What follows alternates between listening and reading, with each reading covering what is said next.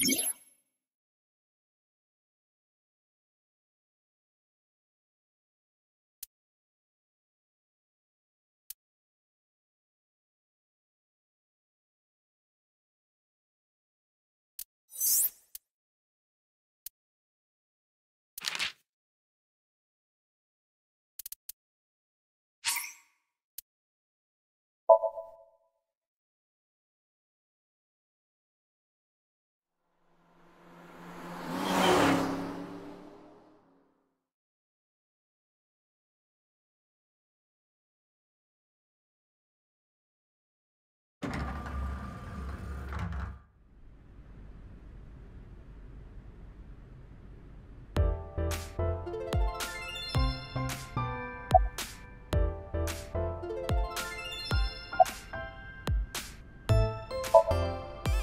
そうだね。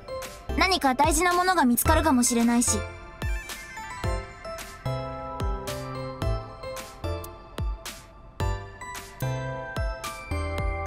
くそ。外れか。そう気を落とすな。操作に外れと靴ずれはつきものだ。足で稼げってことか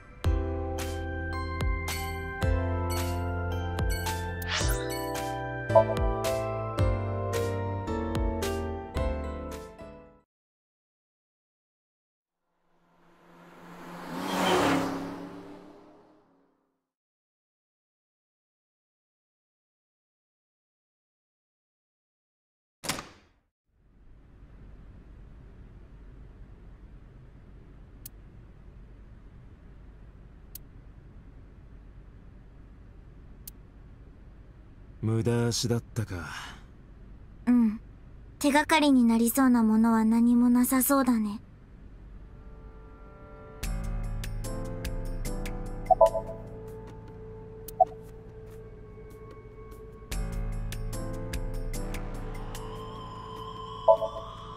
うん。特にないかな。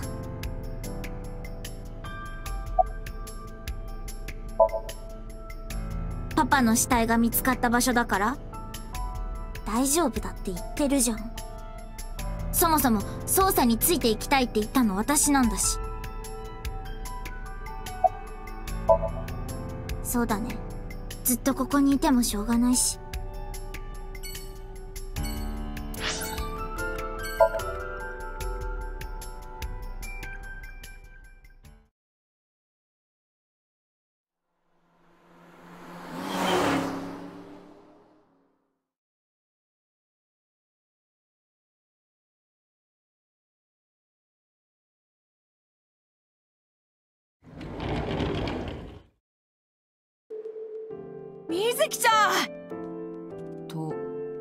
伊達さん。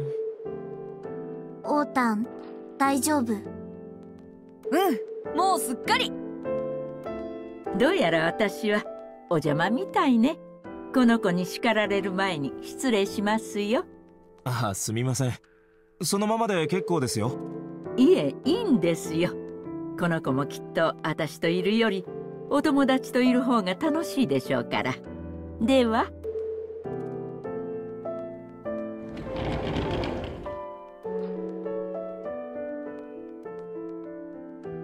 りがとね水木ちゃん。え？僕のお見舞いに来てくれたんでしょ？ああえっとうん。操作のために来たとは言いづらいか。だな。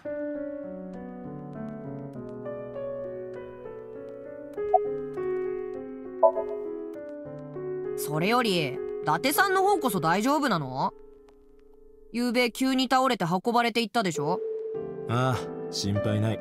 一晩眠ったら完全に治った。なんかうなされてるみたいだったけど。リカちゃんリカちゃんって苦しそうな感じで寝言言ってたよ。マジか？マジだ。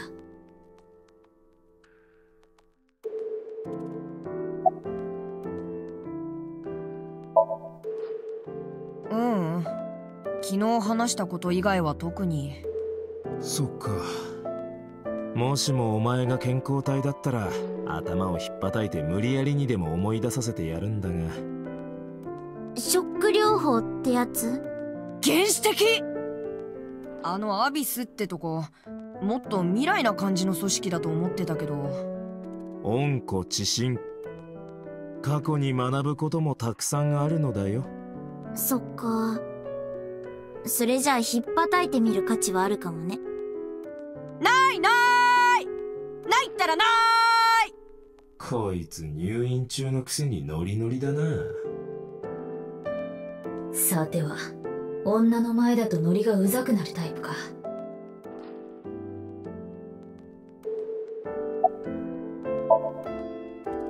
そっか。まだ犯人はわからないんだね。何か思い出したら教えてくれ頼んだぞ。まあ伊達さんの行動次第かな。アセトンちゃんの使用済み歯ブラシがあればなんか思い出せるような気がするんだ。太田水木の前だぞ。発言に気をつけるんだ。大丈夫だよ。水木ちゃん僕が書いたラノベがっつり読んでるし体勢はついてるはずだから。お前水木にどんな話読ませてんだよ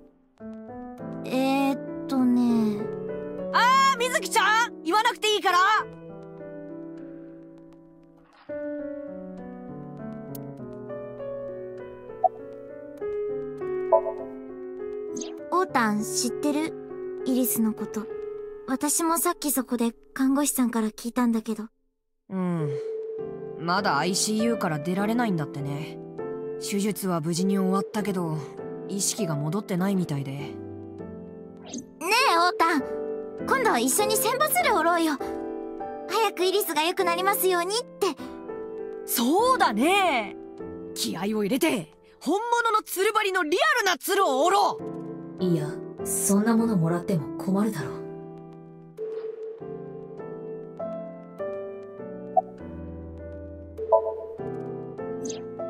聞いたよ。オータンは犯人と戦ってイリスを助けたんでしょ？すごいよオータン。名誉の負傷だね。いやーそれほどでも。ないわけでもないけど英雄だなんて言われるとなんか照れちゃうな。別に英雄とまでは言ってないけど。イリスを守ったのは事実だがちょっと鼻につくな。ああハロウィンの時に渋谷でコスプレして騒いでる奴らと同じぐらい鼻につく。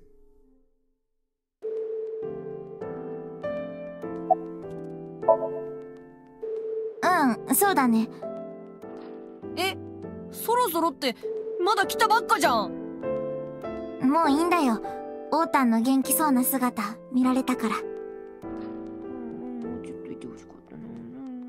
太田からはすでに十分話を聞いている。これ以上問いただしても何か新たな情報が出てくることはないだろう。うん。だって次はどこに行く？えー、っとそうだな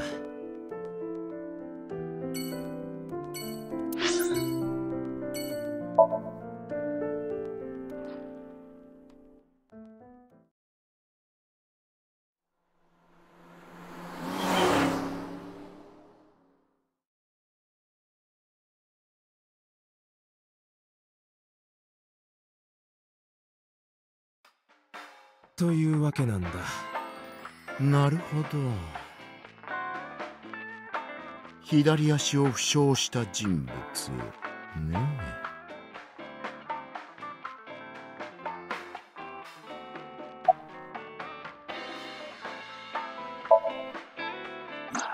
えうん。悪いけど心当たりはないわね。そうか。ママならもしかしたらと思ったんだが情報屋って言っても本当にヤバい情報はそんなにポンポンと入ってくるもんじゃないのよ。ま一応調べてはみるけど。ああ頼むよ。その代わりもし何か分かったら伊達ちゃん私と一緒にお風呂入ってくれる？絶対嫌だ。なんでよママと一緒に入浴したらお湯が全部溢れちまうだろそういう問題か。大丈夫よ。その時はこの着ぐるみをちゃんと脱ぐから。え中に誰か入ってるんだ。そう。びっくりするぐらいのイケメンがね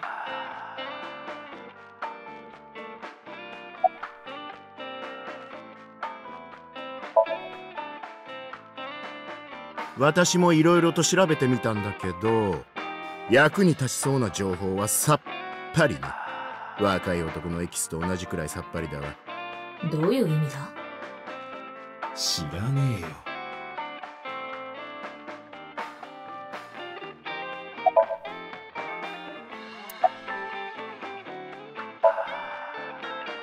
前は言いそびれちゃったけどとっても可愛いと思うわほんと。食べちゃいたいくらい。ははあ。もっとも私が本当に食べたいのは人間のオスなんだけどね。って伊達ちゃんのバカ！何言わせんのよ！ママが勝手に言ったんだろ。もう器が小さいわね。乙女の出現はそばにいる男性がフォローするそれが紳士ってもんじゃない？乙女って誰のことだ？俺に聞かないでくれ。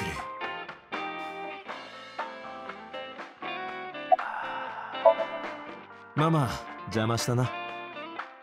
あ？もう行っちゃうの？捜査中なんだ。また来るよ。まあせっかちね。ベッドの上ではあんなに遅いのに。勝手なこと言うなベッドの上？お前は知らんでいい。さあ行くぞ。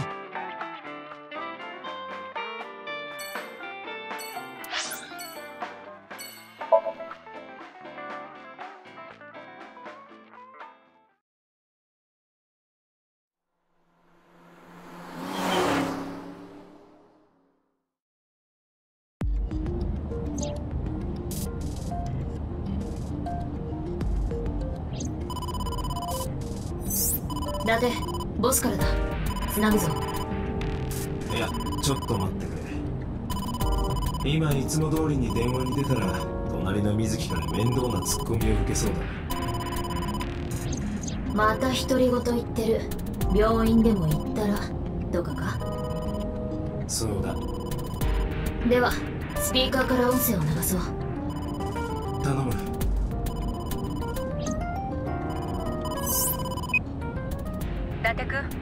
今水木と一緒よね。ああどうした？水木を連れてちょっとアビスの本部まで来てほしいの。ちょうど向かってるところだが何かあったのか？今本庁の連中がこっちに来ててね。水木から色々と情報を得たいんですって。私たちは水木から話を聞いたけど捜査本部の方はまだでしょ？ほら彼女失声症を患ってたから。それで正式に事情聴取がしたいって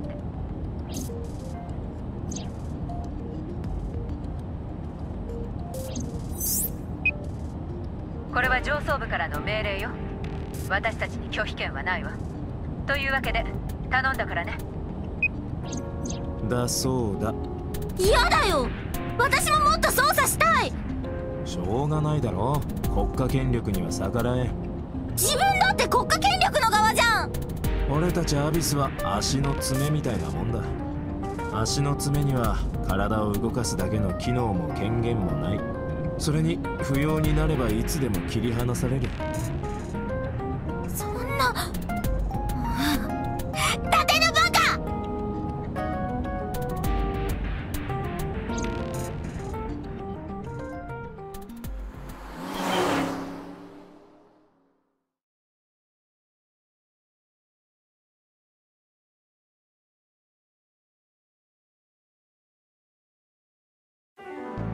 ご足労かけて悪いわね。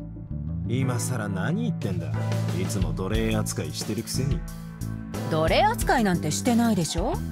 たまに足の親指と人差し指の間をペロペロさせてるだけじゃない？ペロペロしてねえから。とにかくご苦労様。水木のことなら安心して。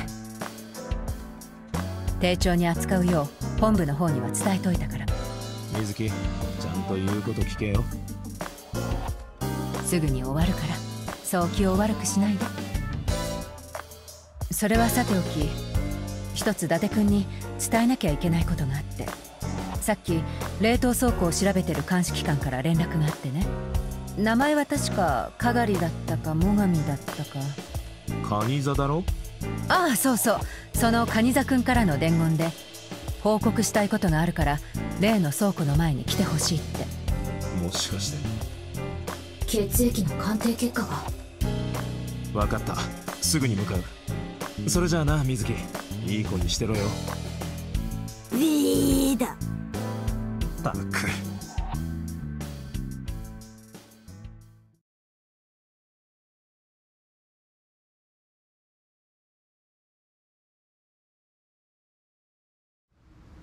伊達さんわざわざすみません。例の結婚の件ですが鑑定の結果がどうだった？確かに伊達さんがおっしゃっていた通りあの血痕には2人分の血液が混ざっていました。一つは松下太田のもので間違いありません。ですがもう一つの方は DNA のコードについては分かったのですがそれが本庁のデータベースには記録されていないもので。さすがに本庁でも日本人全員の遺伝子配列を把握してるわけではないからな。じゃあどうすりゃいいんだよ。どうすりゃいいんだよ。そう熱くなるな。それより別件で報告したいことがある。なんだ？12時の方向。200メートル先に不審な人影を発見。じっとこちらの方を見ているようだ。人影？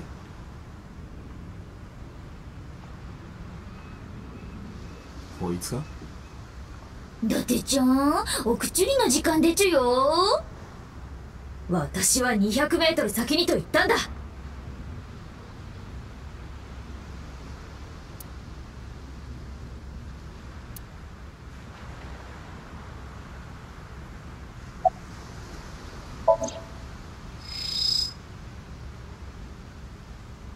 れは。瀬島だ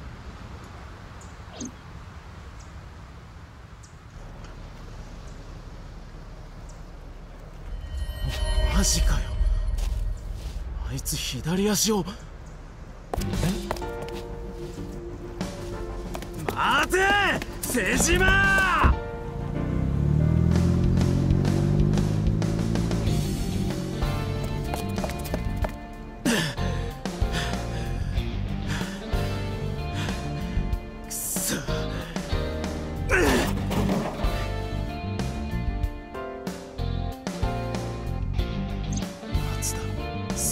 犯人だったんだ。落ち着け。まだ断定できる段階ではない。ただ左足を引きずってただけだろ。だがあいつの影はこれまでに何度も事件の背後にちらついて見えた。翔子と沖浦は熊倉組と関係がありその熊倉組と瀬島にも接点が。それだけじゃない。イリスのソムニウムにも奴は出てきた瀬島には信用できるアリバイもないんだぞ。翔子と沖浦が殺された時も冷凍倉庫での一件の時も。とにかく落ち着くんだ。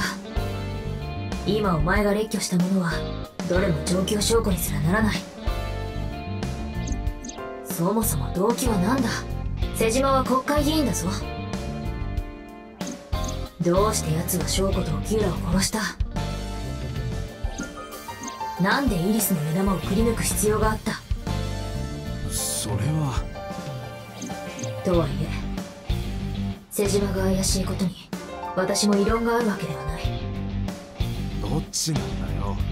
ただ現段階では奴を追求できるだけの材料は揃っていないと言ってるんだ。今あいつを問い詰めてもどうせとぼけられるのがオチだろう。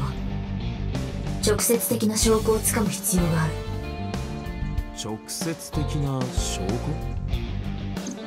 冷凍倉庫にあった犯人の血液。その DNA の配列が瀬島のものと一致すれば。そうか。ってことは瀬島の DNA を採取すればいいんだな。問題はどこでそいつを手に入れるかだわ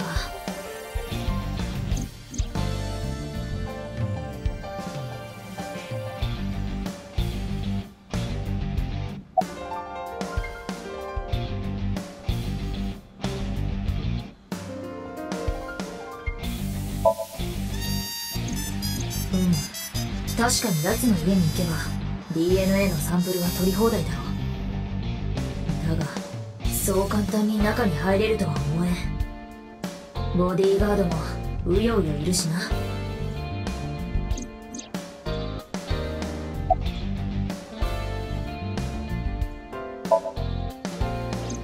中央病院のデータベースを調べてみた。瀬島はあの病院で治療を受けたことはないようだ。従って当然のごとく瀬島の血液も細胞もあそこに保存されていることはないだろ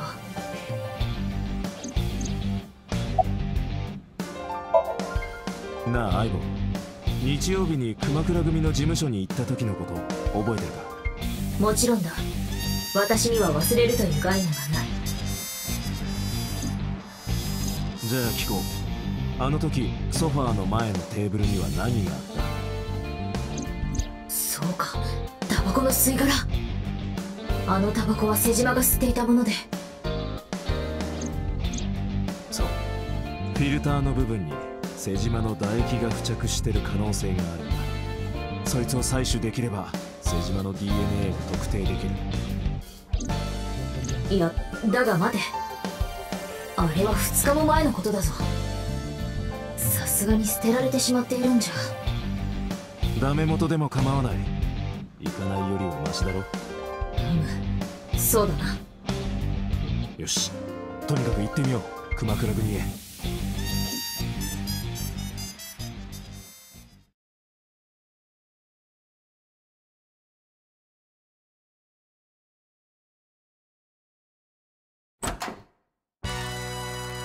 おい何しに来やがった？なめてんのかこの野郎。伊達相手にするな。分かってる。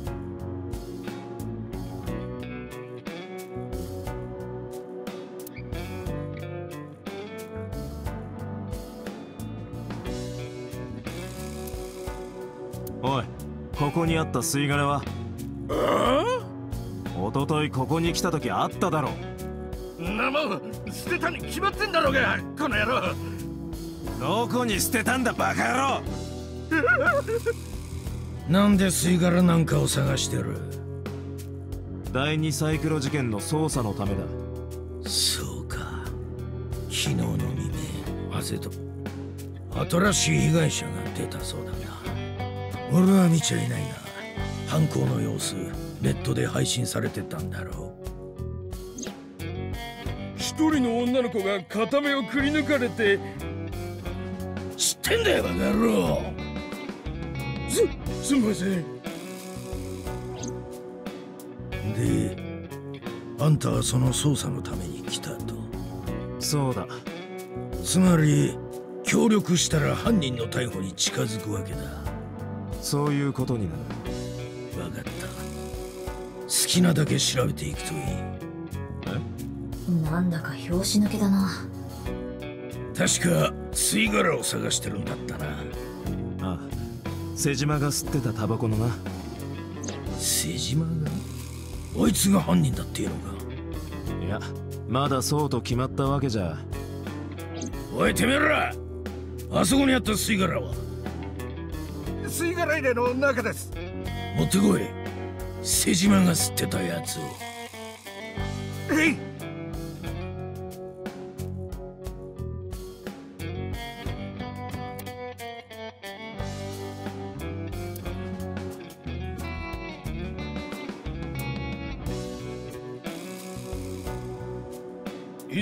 手は触れちゃいねえよ。気が利くな。だがなんで4つなんだ？出演者の来客が他にはあってな。どれが瀬島さんが吸ったやつなのか分かんなかったんだよ。モーマお前は？悪いが俺も覚えちゃいねとにかく瀬島が吸ってたタバコはこの4つのうちのどれかってことで間違いないんだな。そうだ。伊達思い出すんだ瀬島が吸っていたタバコの銘柄を。確かあいつが吸ってたのは。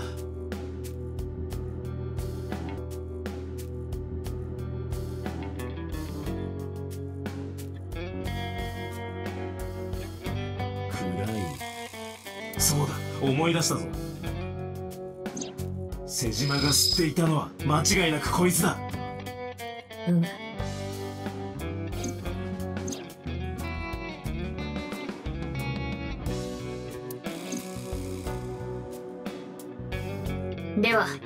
スに戻ろう。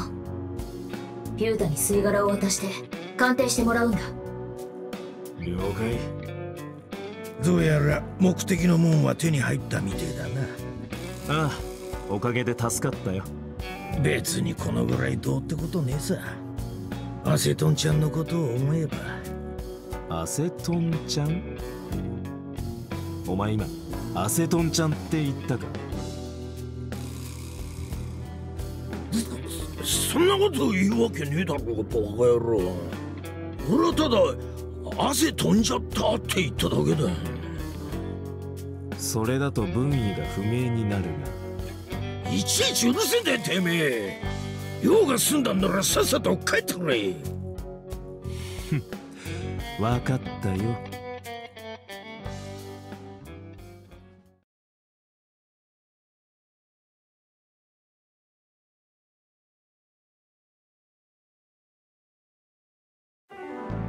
それじゃあピュータ頼んだぞ。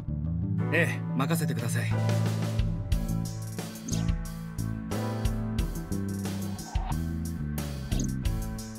その吸い殻に付着している DNA それと冷凍倉庫にあった血痕のものが一致すれば。白熊の中にいたのは間違いなく瀬島ということになります。解析にはどれぐらいかかりそう？6時間もあれば3時間で終わらせて。無茶言わないでくださいよ。と言いたいところですが。わかりました。指定の時間で何とか。お前どうして一刻も早く犯人を捕まえたい。それだけですよ。では時間が惜しいので僕はこれで。失礼します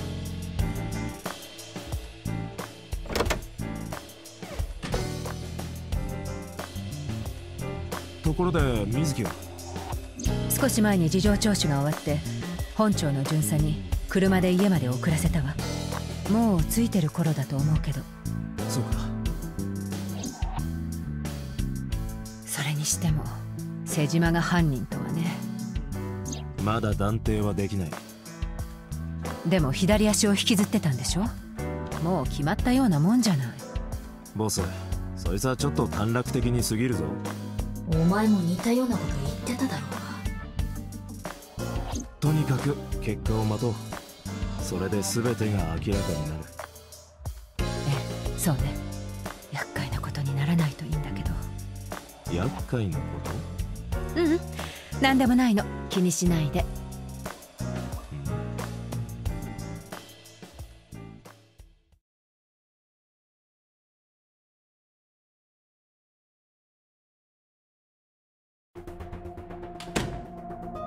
ピーター結果が出たって本当か？ええ。吸い殻から検出された DNA は冷凍倉庫にあった血痕のものと一致しました。そうか。やっぱり白熊の中にいたのは瀬島だったんだな。瀬島がイリスの片目をくり抜き太田の脇腹を刺した。そしておそらく翔子と沖浦も。つまり二代目のサイクロプスは瀬島だったと。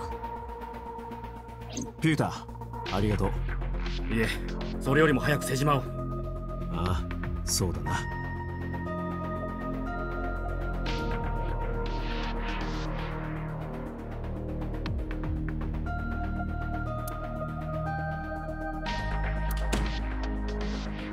ボス。なあ聞いてくれ。冷凍倉庫にあった血痕はやっぱり。知ってるわ。ピュータから報告を受けたから。だったら話が早い早速だが行ってくるよ。どこに？決まってるだろう。瀬島のところだよ。伊達君悪いけどそれはできないわ。え？あなたを瀬島のところへは行かせられない。そう言ってるの。意味がわからないんだが。上の方から圧力がかかったのよ。瀬島と本庁は20年以上前からズブズブの関係にあってね本庁は瀬島の言うことには逆らえないの。汚い金でつながり合ってるっていうのももちろんあるけどさらに瀬島は本庁の弱みも握ってるみたいで。弱み？弱みってなんだよ。絶対に漏洩してはならない機密事項よ。その件が明るみに出たら警察の権威が失墜するような。よくわからないが瀬島はそいつをネタにして本庁に揺さぶりをかけてきたっていうのか？ええ多分ね。とにかくそういうわけだから分かってもらえる？わかるわけないだろう。そう。それじゃあ残念だけどあなたにはこの事件の担当を外れてもらうしかないわね。おいなんだよそれ。本気で言ってんのか。ふざけんなよ。ふざけんなよ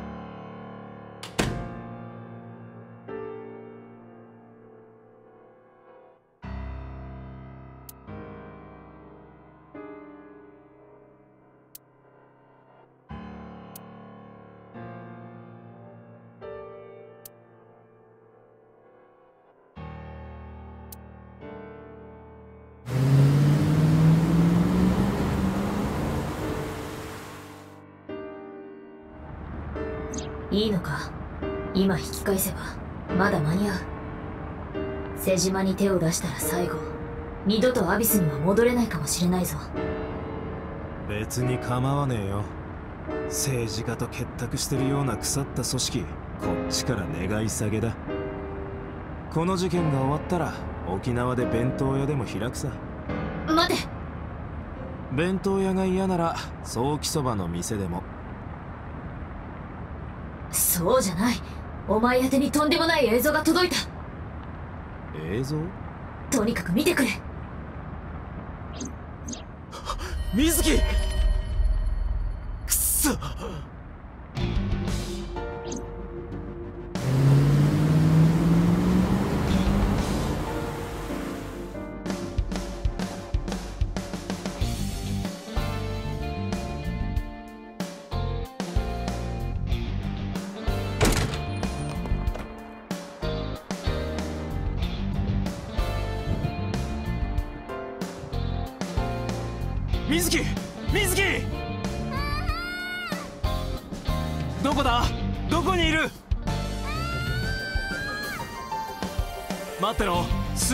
つけてやる。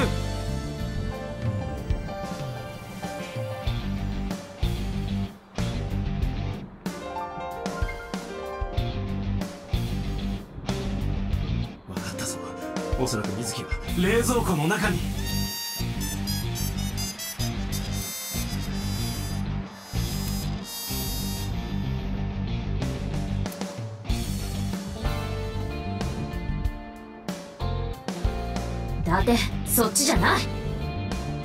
声は反対の方から。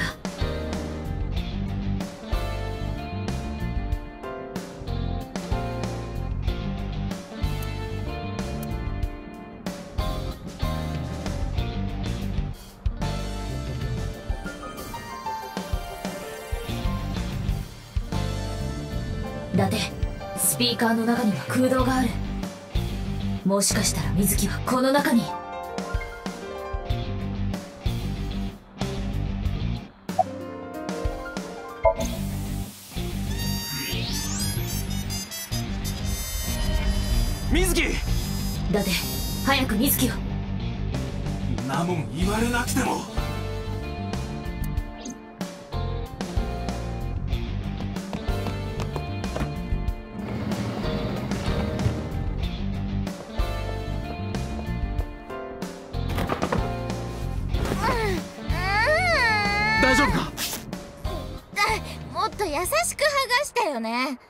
それから遅い。遅すぎる。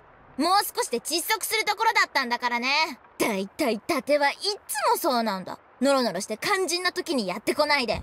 半年前もそうだった。私が修学旅行のバスに乗り遅れそうになって。うん。うん。うん。しばらくそうしてろ。ちふざけやがって。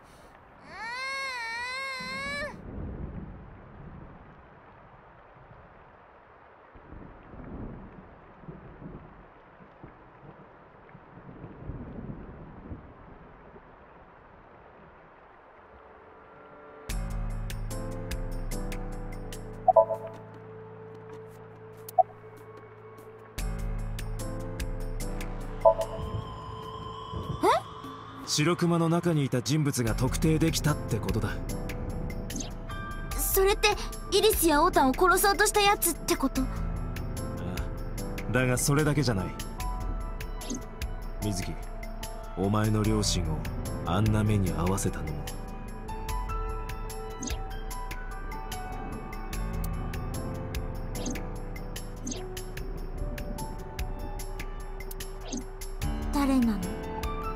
議員の瀬島壮ってじじいだ。瀬島？知ってるのか？えああうん。たまにテレビとかにも出てる人でしょ。でもどうして？理由はわからない。だがあいつが冷凍倉庫で左足を負傷したのは間違いないんだ。許せない。許せない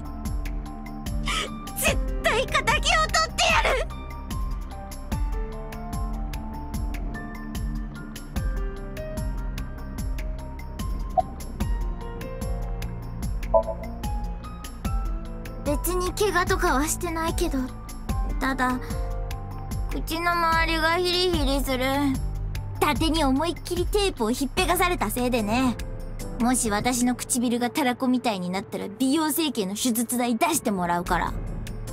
むしろセクシーになっていいじゃないか。うん。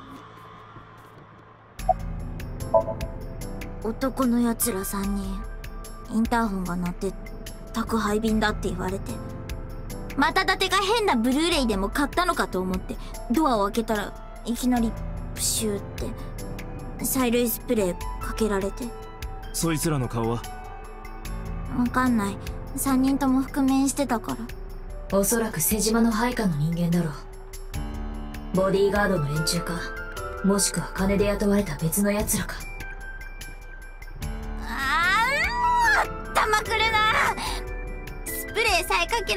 ったらあんな奴らバッキバキのボッコボコのメッタメタのギッタギタにしてやったのに。水木一つ言っておく。うん。俺は変なブルーレイなんて買ったことはない！そこ？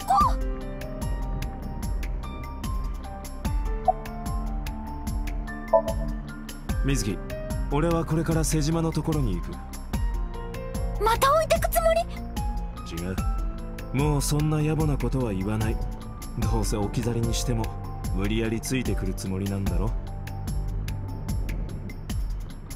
覚悟はできてるか？何の覚悟？瀬島の屋敷には武器を持った連中が大勢いる。